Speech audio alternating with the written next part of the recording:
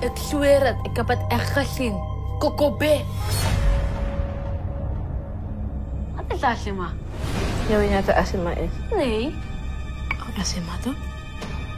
Is als een vampire. Een vampire. Oma, zijn Asima's echt? Je moet niet zo nieuwsgierig zijn. Je snapt dat nieuwsgierigheid kan keren. Ze zeggen dat een Asema een Oruisi vrouw is. Suma drape. Dag jongeman. Ik denk dat vrouw Willy zelf voor Asima is. Je bent gek no? Jimmy, het is al laat. We moeten naar huis. Oh? Hoe komt het? Asima! Zelda! Heb ik niet eens dat je voor donker binnen moet zijn? Hoor je dat? Wa Asema da passi. Mine Frede next. Kaya may tak den tori. Mek den kan den tori den una mulag noa sani. Noa san pambulu kunjara. Of this. Pe. Je bent gewaarschuwd. Ja. Ik ben Luella Monsanto, de regisseur van Serena Folktales en ook van, tevens van de eh, nieuwe aflevering Asema. Hi, ik ben eh, Giorgio De La Vente en ik ben de DOP voor dit project en ook de colorist. Nou, ten eerste waren we ehm, bij het Nederlands Filmfestival, want de, eh, de film Asima is daar in première gegaan. En een deel van de crew kwam uit Suriname. En een deel die hier woont was daar ook aanwezig. En ja, misschien wil jij vertellen over hoe, eh, hoe, hoe de experience was Oh. tijdens die dingen. Ja, waren, we waren nominated voor de EY Award. EY Ehm, Talent Award. EY Talent Award. En die was als eerst, right? Die kwam als eerste. En toen hadden we niet gewonnen. And we were bummed out for like most of the show. Uh, maar we echt like, damn it, nu moeten we kijken naar eh, hoe andere mensen awards hier zitten winnen. Ehm, maar toen kwam de wildcard section. En dat is eigenlijk arguably the better prize. Ehm, maar toen waren we ook van ja, dan nu moeten we gaan competen met 32 films. Ja, zo. om het beter uit te leggen, bij de EY Talent Award nominatie, daar zijn er drie mensen genomineerd. Dus daar dachten we van, oh oké, dus dan is het één, één uit drie dat we de kans hebben om te winnen. Maar we hebben niet gewonnen. En eh, de, het grotere bedrag, want EY Talent Award ehm, kan je 5000 euro winnen voor je nieuwe film. En de wildcard van het Nederlands Filmfonds, dat is eh 50.000. Op die kaart zie ik wel 53 staan, maar ik weet niet of dat een belastingding is. Want elke keer zeggen ze 50.000, maar er staat 53.000. En ehm, ehm, ja, en de kans leek ons kleiner om die te winnen, omdat ja, er waren veel meer Inzending. inzendingen en partijen die daaraan meededen. Ik denk dat het al zo van een 30 waren of zo, als ik het goed heb. Dus het was super spannend.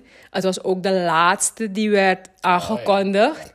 Dus, en eh, voordat het wordt eh, announced, dan wordt er eigenlijk... Eigenlijk geven ze al hints wie het geworden is. En de hints leken erop van... Oh, wait a minute, it's Asema. En iedereen keek elkaar aan. Volgens mij zijn wij het, volgens mij zijn wij het. En dan poep, popte het eh, een stukje van de film op het scherm. Want ze zeggen niet eerst de naam, maar je ziet het op het scherm. Een stukje van de film. En toen begon iedereen echt gewoon te gillen. Was iedereen, like, vanaf dat moment was mijn- verstand gewoon op nul. Ik, ik, ik ging met Giorgio naar het podium en ook met mijn editor Isbrand. En het leek alsof ik even gewoon niet eens meer wist wat hun naam, wat hun naam was. En mijn hoofd was echt, het was gewoon... bzzz. Maar ja, Nu naar de laatste winnaars van vanmiddag. De eerste wildcard. Hier is een filmmaker aan het werk die vanuit haar eigen perspectief een verhaal vertelt over waar ze vandaan komt en wat kinderen daar beweegt. Dat doet ze met een overtuigende dynamiek tussen de jonge acteurs. De film is een horrorfilm waarbij de juryleden uit hun stoel sprongen van schrik. Dat maakt wel heel nieuwsgierig naar wat de toekomst gaat brengen. De eerste winnaar van de Wildcard Fictie 2023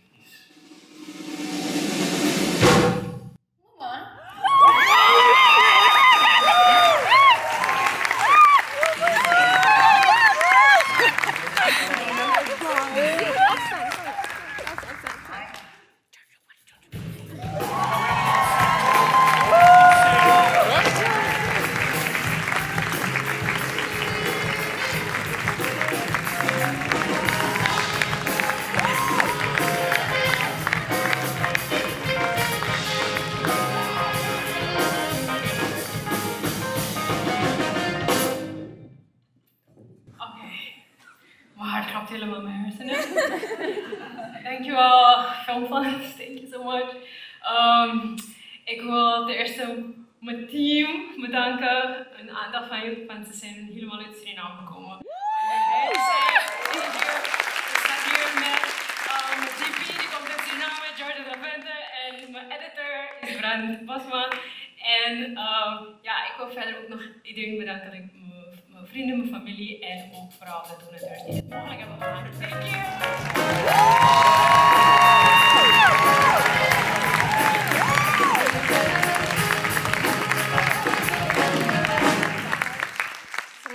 Is sowieso altijd een Surinaams product geweest, in Suriname gedraaid.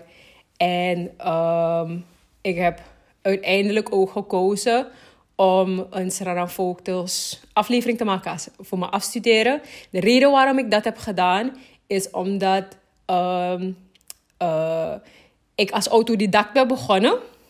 En ehm, ik heb eigenlijk vier jaar opleiding gedaan. Dus het leek me leuk om weer een aflevering te maken. Nu, ehm, nadat ik de opleiding heb gedaan. Om een goed vergelijk te maken.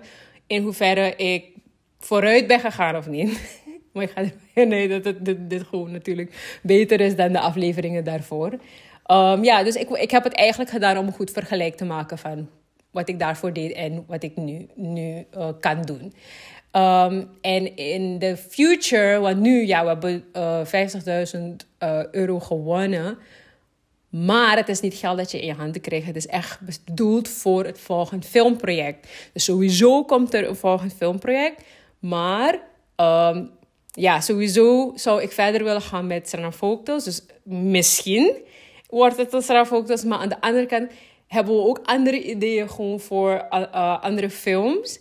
Dus dat zouden we ook uh, graag willen doen. Maar ik wil nog niet te veel daarover gaan Oh, ja. vertellen. Er zijn sowieso uh, ideetjes. En alles heeft wel een beetje een tintje van wat men al kent van Serena Focus.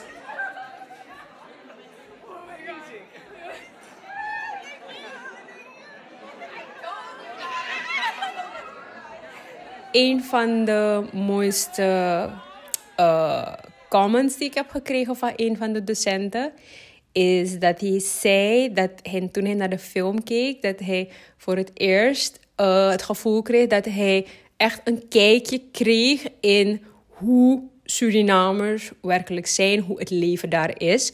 Omdat hij zeg maar al meerdere uh, Surinaamse producties had gezien die zeg maar door uh, vanuit Nederland zijn gemaakt, maar dan in Suriname met een, een combinatie uh, Surinaams verhaal van mensen dus die van Surinaamse afkomst zijn. Um, dingen als bijvoorbeeld Tuintje in mijn hart en um, Sing Song had je ook en zo.